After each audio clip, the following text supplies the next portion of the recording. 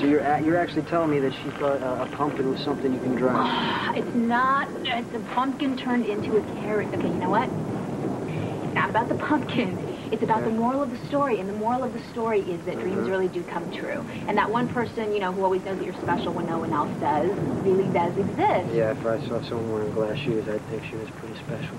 Glass slippers. It's very important to Brenda, the They story. would break. They cut her feet. Of course, the prince, prince couldn't find her because she'd be in the emergency room. Okay. The shoes were not really made out of glass. How about that? It's just material that looks like glass. Does that work better for you? Then they'd My either be turn. huge, okay, huge or tiny because they didn't fit anymore. Oh, it's a, it's a fairy tale. Come on. It's a fairy tale. It didn't really happen. Exactly my point. Okay. I am going to tell you a new fairy tale. Hmm. It doesn't have any shoes or pumpkins in it because I think that that's going to work better for you.